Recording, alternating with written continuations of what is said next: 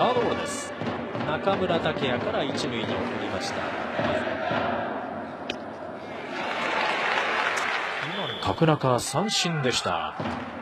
これでツーアウトにね頑張ってる選手がね楽しみですよね。そうですねはい。しかしここは高橋コーナーフォークボールで三振に取りましたね。周りのレベルが高すぎましたからね。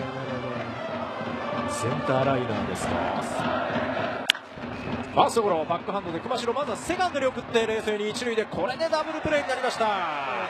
高橋コーナーピンチは。